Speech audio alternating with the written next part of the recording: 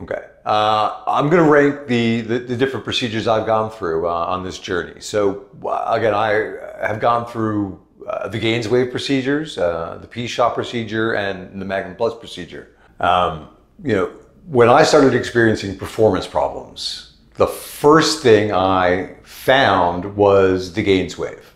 I thought that was actually very effective. It was immediately able to get better erections after GAINSWave. But there was no other change. Um, there was no improvement in any other sort of facet of, of, uh, of male sexual health at that point. It was able to get erect, able to get firm, but there was no, you know, uh, no other difference than from before the GAINSWave. It's immediately effective. The benefits are fairly short-lived.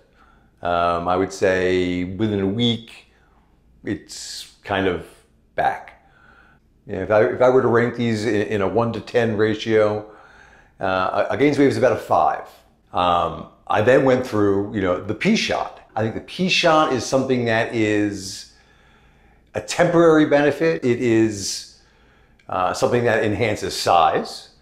Performance-wise, uh, about neutral. Um, and again, the, the, the duration, the, uh, the length of time that a P-Shot stays with you, uh, maybe a week, maybe two weeks. Um, I would rank perhaps about a seven.